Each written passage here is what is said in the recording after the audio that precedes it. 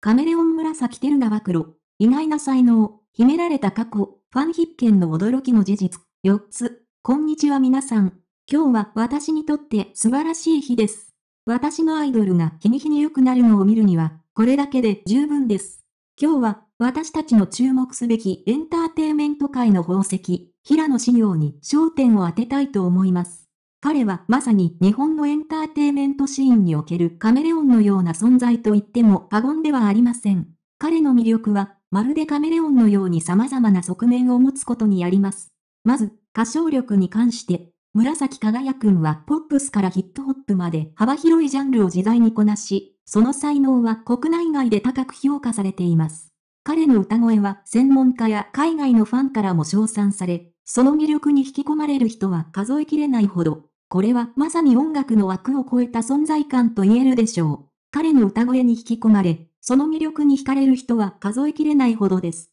次に、彼の演技のプロフェッショナリズムにスポットを当てましょう。彼が出演する映画は、それぞれ異なる特徴とスタイルを持ち、厳しい監督たちからも高い評価を受けています。これにより、年配のファン層からも熱狂的な支持を受け、家族のように愛されています。プロの俳優としてだけでなく、エンターテイメントスターとしての成功はまさに夢のようです。さらに、彼は幅広い広告キャンペーンにも参加しています。子供時代から10代、そして大人になっても、彼が広告する商品は多岐にわたります。これにより、コロナ後の暗い化粧品市場を活気づけ、健康食品やファッション、さらには高級アルコールに至るまで、多くの分野で注目を集めています。紫輝くんの演技はなる映画の中だけでなく、観客の心にも深く刻まれているのです。彼の広告はブランドにとっても歓迎され、多くのファンに支持されています。そして、ファッションにおいても彼の個性が光ります。